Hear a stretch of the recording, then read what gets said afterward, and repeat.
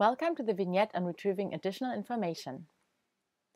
Why would you want to retrieve additional information at all?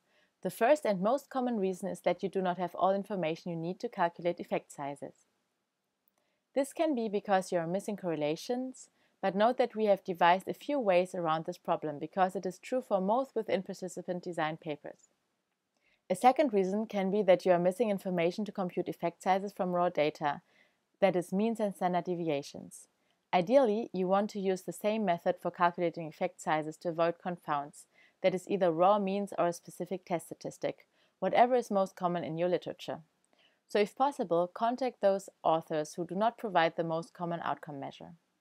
Finally, and most urgent but fortunately less common, you cannot compute effect sizes at all because neither the raw data nor the test statistic for the comparison of interest are reported. Do not use parts of an interaction term here. You might also want to have more information about the experiment, because you are very interested in a certain moderator. Age is one possibility, and so are stimuli or procedure details. A next reason is that you are not sure whether the paper at hand should be part of your dataset. Is it reporting on the same infants as an entry you already have? Was the main question close enough to the one you are trying to answer? Sometimes it helps to discuss this issue with an expert, and who is more of an expert than the author. Finally, you might have tried and tried and cannot get the full paper anywhere.